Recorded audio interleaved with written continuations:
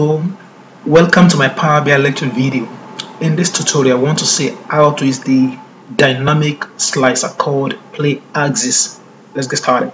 Now, before we can use that dynamic slicer, we need to be properly signed in, okay, and two, we need to be connected to internet. So now, let's go to our insert group. Then we click on More Visuals. Then we click on From the App Store.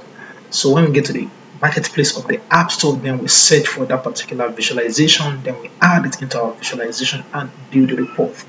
Okay now we have our power bi visuals dialog box ready.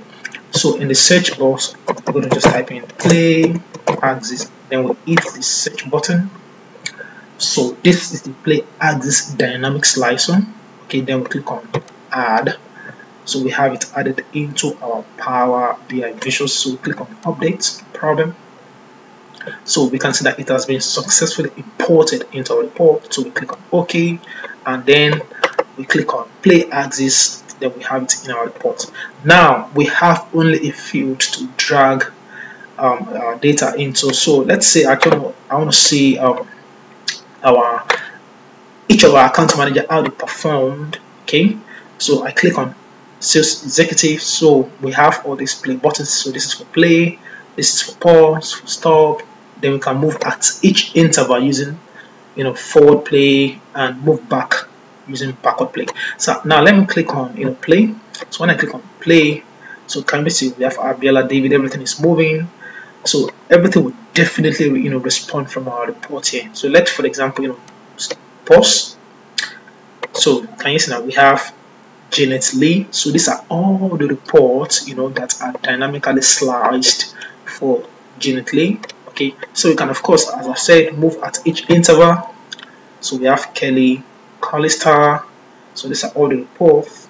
For example, in the month of November, the average daily revenue is 85,000 plus. So when I click on the fourth, we have Little Bain. So for the same period, November, the average revenue is 14,000 so everything is looking pretty fine. Now let's quickly check one or two formattings so for example if you actually want to change the colors so we can turn on the show.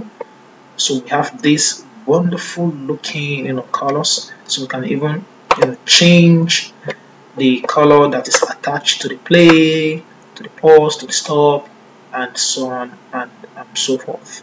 And of course we can even play around with the animation. Let's say you actually want auto start. So can you see? It automatically starts and everything dynamically slides. And of course we have this you know loop. So anyway this is how to use the play axis dynamic in slice. So thank you for watching my video and please do subscribe to my youtube channel. Bye for now